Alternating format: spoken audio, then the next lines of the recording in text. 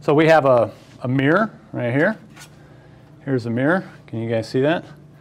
Probably if I look just like that, you can maybe see my reflection. Can you see my reflection? It's a really dirty mirror, okay? That's a mirror. What is a mirror? A mirror is very simple. It is a coating of aluminum or silver on glass. Okay, there is a glass substrate, and on that glass substrate, you provide a little bit of aluminum or silver. If you have a lot of money, you can buy gold mirrors, right? You can put gold foil down onto a glass substrate. And so it looks like this. Here is our glass.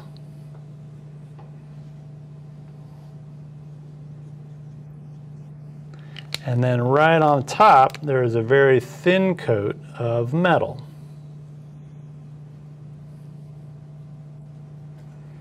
Okay, and it doesn't have to be very thick at all. The metal is what does the reflection. So when a light ray comes in, here comes our light ray.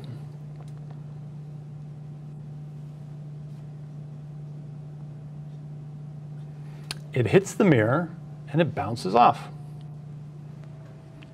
Okay. Why does that happen? Why does light bounce off of this mirror? And the combined two things here, the glass and the metal, is what constitute the mirror. Why does that happen? It happens because we know that light is made up of electric fields and magnetic fields. And when those electromagnetic fields hit the metal, the little charges in the metal start to vibrate. And they vibrate at exactly the same frequency as that light ray that was coming in. And it re-radiates that stuff out into another ray at the same frequency. Okay? This is why you have to have metal there. If you have an insulator, like a piece of wood, it doesn't reflect the light ray. And that's because those little charges in the wood can't move quite as easily as the charges in the metal. So the metal is in fact what does the reflection. Metal causes that reflection to happen.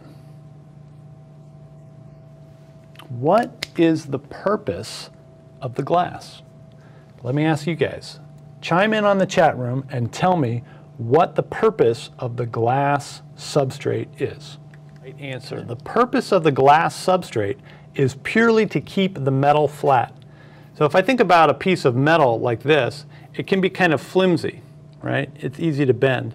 And if I bend this, you can see the reflection change shape, okay? Think about when you open a brand new can of aluminum foil, right? It comes out and it looks like this. And it doesn't make a very good reflector. But if you pull it out very slowly and lay it on the table, then it's flat. And so that's it. The whole purpose of the glass is to keep it flat. There's an additional purpose, which is to keep it from oxidizing. So typically when you look in the bathroom mirror, there is metal coated on glass, but the very front side is glass. Then there's metal behind it, and then there's some other sort of protective backing on it.